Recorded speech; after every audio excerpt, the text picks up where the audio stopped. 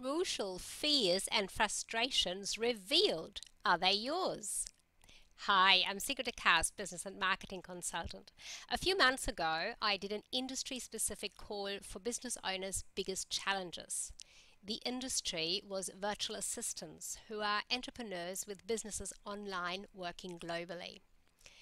Here are the top 10 questions and challenges we got back. Now, some of these are very specific to the virtual assistants market. However, most of these um, come across the industries. I'll highlight for you just the one that I think is a bit very specific here. How can I show that my service is cost effective and an essential part of small business support? Now, that is not um, for everybody. However, what I've done is I had a good look through these and from these top 10 I've chosen or I have identified these top five fears and frustrations that really apply across all industries. Now, do any of these resonate with you? How to find clients, how to highlight the benefits of what I do to my clients. How do I get regular work and repeat sales?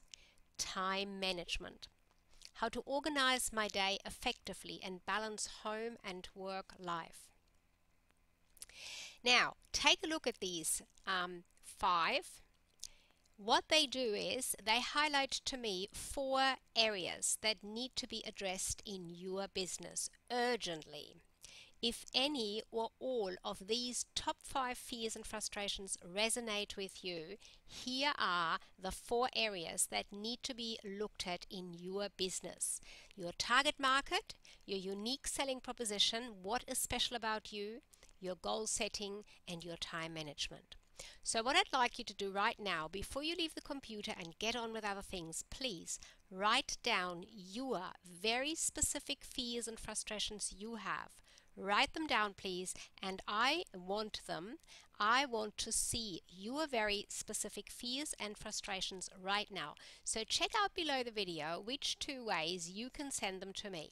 Looking forward to hearing from you